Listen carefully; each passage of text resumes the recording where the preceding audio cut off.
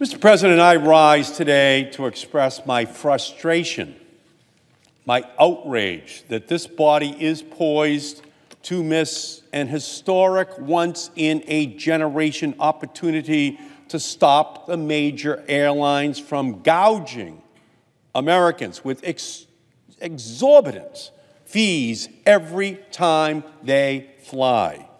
In the dark of night, early Saturday morning, House and Senate committee leadership released a Federal Aviation Administration reauthorization bill that does not include a common sense bipartisan provision to protect passengers from having to pay $200 to change a ticket that cost $250.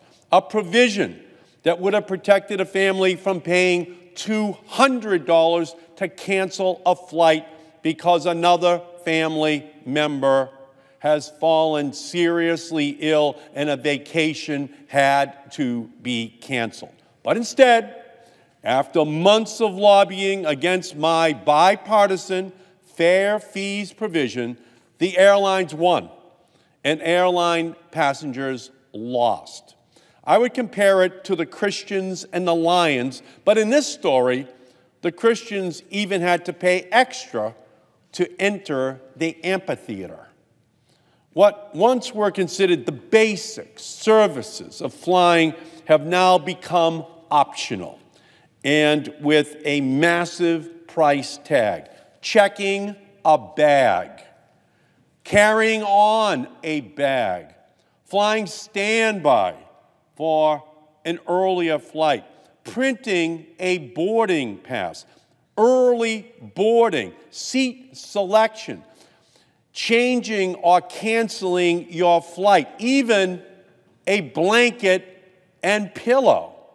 Air travelers are being nickeled and dined, but the real cost is in the billions of dollars. And that's because the major airlines have turned fees into a multi billion dollar industry. Last year, the airlines raked in $7.4 billion in fees. More than $4.5 billion came now from having to pay to check your bag. 2.9 billion Or extra fees if you wanted to change your ticket, if you wanted to cancel your ticket billions of dollars. That is actually the equivalent of 11 million flights from Washington, D.C. to Boston. That's the cost that is now imposed upon consumers. Passengers think that they are buying low cost fares, but they are really just victims of airline greed in support of a new multi billion dollar profit center. Even in the past few weeks, as we worked in Congress to include important consumer protection measures in this final FAA legislation, the airlines continued to raise their fees. Last month, JetBlue Airways raised its change and cancellation fees from $150 to $200 for certain flights. They also raised fees for a passenger's first check bag from $25 to $30 and increased the fees for a second check bag from $35 to $40. That's $140 to check two bags round trip. Shortly after, United Airlines, Delta Airlines, American Airlines followed suit, raising their bag fees to match JetBlue. In college, uh, I might have spent more time being interested in politics and economics, but I thought competition was supposed to drive prices down and not up. So, why are the airlines charging these fees? Well, the first answer is because they can. But the real answer is because there is no competition among domestic airlines. In the past 10 years, we've gone from just 10 major airlines down to just four. Only four airlines control 85% of traffic in the skies. The only thing competitive about the current airline industry is the fight for overhead compartment space. Americans have more choice in where to eat at the airport than which airline they can take. We know that when choice goes down, fees go up. And these sky high fees bear almost no resemblance to the cost of the services being provided. The Government Accountability Office, GAO, recently released a report confirming what countless passengers across the country already know to be true. Airlines are gouging captive passengers to line their pockets, not to cover the actual cost of the services provided. Does it really cost $200 for American Airlines to change a ticket? Does it really cost Delta Airlines $40 to load that second bag? $10 more than processing the first bag? Airlines are increasing their fees in order to match their competitors, and they are actively seeking to deceive passengers by offering artificially low fares and then charging exorbitant fees on the back end. Enough is enough. It's time we put a stop to these abusive practices. And that's why Republican Senator Roger Wicker of Mississippi and I joined together to get our provision ensuring change and cancellation fees are reasonable into the Senate FAA reauthorization bill. When a liberal from New England and a Republican from the Deep South can agree on policy, we're on the right side of history.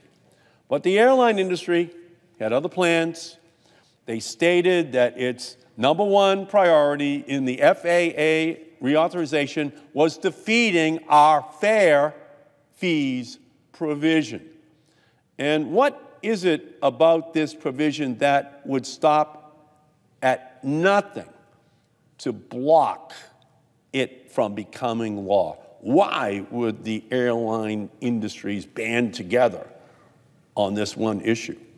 They really don't compete truly against each other in the marketplace, but here they could all come together on one policy. And that's because they don't want the Department of Transportation to assess whether change and cancellation, baggage, and other fees are reasonable and proportional to the cost of the services provided. They don't want to ensure change and cancellation fees are reasonable.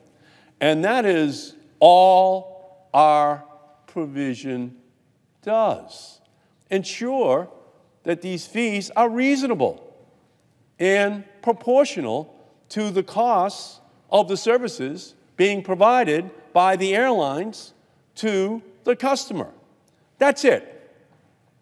It's as common sense and as straightforward as you would want an airline passenger to receive from their airline fair and reasonable. No price is determined by this amendment, only that it has to be fair and reasonable and related to the cost that is, in fact, borne by the airline in order to provide that service. How onerous could that be on an airline? Why can't we get that passed through this body so that consumers just don't get tipped upside down at the counter as they try to change a ticket or to cancel a ticket. Why can't we get that passed? If a child gets sick and a passenger has to change or cancel a flight weeks in advance, does it really cost Delta Airlines $200 to cancel that ticket? If a meeting gets postponed, so a ticket has to be canceled two weeks before departure, is it fair for United Airlines to charge $200 for a ticket that costs about the same amount? And are those fees proportional when the airlines can still resell the vacated seat? And even if the passenger cancels weeks ahead of time. So just think about that. The passenger gives the airline two weeks' notice, then they have to pay a fine, $200, then the airline resells the ticket to another passenger. So, what's the cost to the airline in that kind of a situation? Or are they just exploiting the vulnerability of the passenger who has to change? They've resold the ticket for the same price or higher to another passenger. The answer is no. Passengers have no choice. They have no alternative. The market has failed, leaving these flyers vulnerable to fee gouging and corporate greed from the airlines. You're at the counter, and they could say, Well, go to another airline. And you say, Well, there are no other airlines at this airport that fly to my destination. It's the only airline I can rely upon. Well, then pay the cancellation fee, pay the change fee, because you are not in a marketplace where you can then say, Well, there's another airline that I can go to right here at this airport, taking me to that destination nonstop. In fact, the only thing the airline industry was more committed to doing than raising airline fees was defeating the consumer protection provision in the FAA bill. But we still have an opportunity to right this wrong. Tomorrow, the House of Representatives will consider the FAA reauthorization bill, and on the behalf of the flying public, the millions of Americans who are subjected to ridiculous airline fees, I call on the House to add the fair fees provision to the FAA reauthorization bill, and I call on my Senate colleagues to support it. It is time to stop nickel and diming American families and ensure that they are flying the fair and friendly skies. Otherwise, these billions of dollars year after year will come out of the pockets of consumers who have no choice. Senator Wicker and I worked together to build it into the Senate bill. We should not have receded to the position of the House. That was a mistake. But this history is going to continue because the anger of the flying public is only going to build as each and every month and year goes by.